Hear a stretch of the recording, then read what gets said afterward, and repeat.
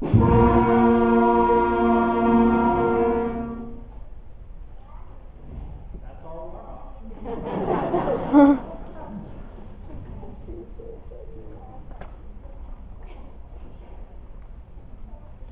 first piece we're going to play, this is the fifth grade band, by the way. Um, thank you so much for coming. The fifth grade band is going to start off with a piece called American Frontier.